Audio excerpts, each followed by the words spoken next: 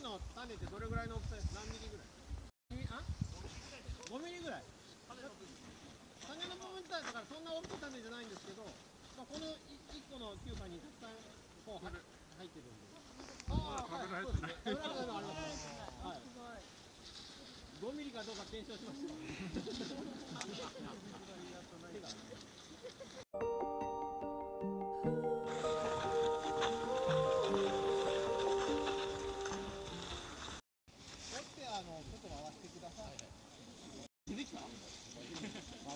で、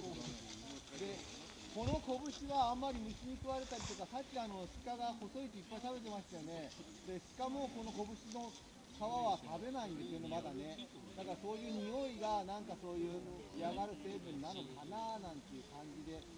から調べてくださ。い。トドマツの皮、トドトドマツの皮しか食べてるの。何の皮トトドマツ。皮食べます。あれは食べるんですね。トドマツ食べます。でト、ドマツの匂いは好きだけど、拳はまで、ただ本当に餌なくなったら食べるかもしれませんね。今のところまだトドマツの皮はところどころかじってるんですけど、いっぱいかじるところでトドマツの皮も食べます。で、昨日かな、調べとか、あの裏も東山サービスのやつが去年まで食べてなかったのが今年